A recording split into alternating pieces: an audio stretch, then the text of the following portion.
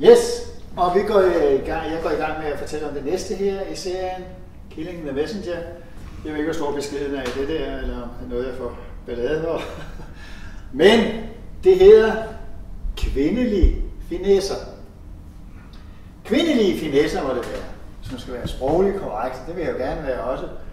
Øh, det er, jeg kan så godt indrømme det og sige det som det er, det jeg har taget øh, udgangspunkt i et af Picassos øh, billeder. Og det er han er meget tydelig her. Han øh, er den grønne og den røde, og så de der øjne, det er nu min egen pilus, eller teknik.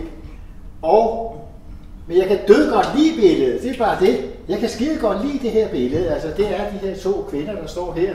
Den ene er blevet lidt lang måned, men altså, øh, så er der sådan en, en lille pige herude, og der er en, der ryger gang her. Eller, det må man selv om. Altså, der må man, igen må man sige, alt det her, det må man jo selv om. Altså, jeg har min forestilling, og du har din forestilling, og en anden en har en anden forestilling om det.